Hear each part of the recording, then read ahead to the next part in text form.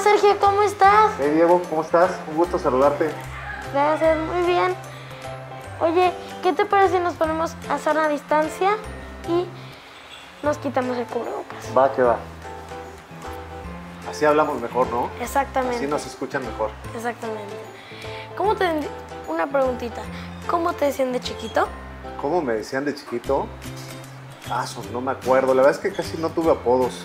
¿En De en chiquito, serio? Todo el mundo me ha dicho Sergio, Dicheco. No, fíjate que no tuve apodos, mi Diego. Siempre me dijeron Sergio, Sergio, Sergio. Ah, La verdad. Nunca tuve un apodo. Bueno, al menos que yo me acuerde. Hola, ¿qué tal? Soy Sergio Hernández y esta semana estaré en el canal de Diego, emprende.